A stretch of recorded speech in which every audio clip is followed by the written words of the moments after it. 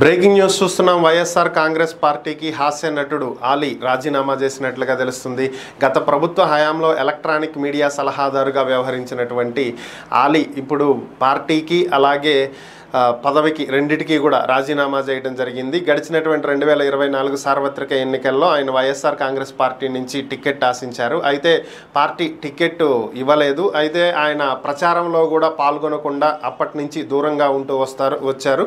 ఇప్పుడు పూర్తిగా పార్టీకే రాజీనామా చేయడం జరిగింది. మరి భవిష్యత్తులో వేరే పార్టీలోకి ఏమైనా వెళ్ళే ఆలోచన ఉందా? లేదంటే ఇక రాజకీయాల నుంచి శాశ్వతంగా తప్పుకోబోతున్నారనేటువంటి అంశాలు అయితే ఇప్పటి వరకు ఆలీ వెల్లడించలేదు.